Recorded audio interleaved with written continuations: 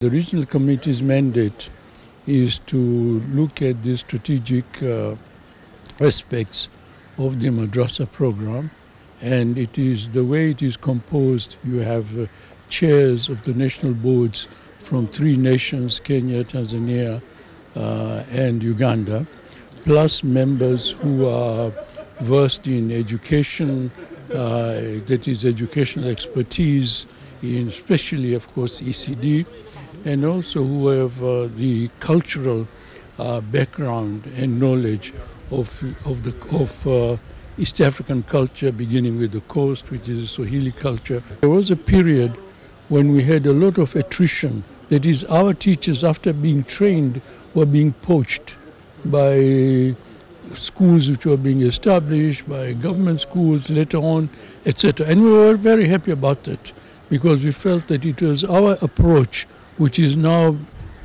getting into the the government, etc., the, these other areas. The program has really evolved from what it was, from being community, and now we are glad that the county government is also coming in to give a hand.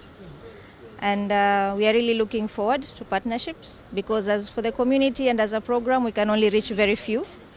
But I'm sure with the help of the county government coming on board, we'll be able to reach even to more children who will, will bring uh, greater access to education. Did uh, integration, integration course for six months.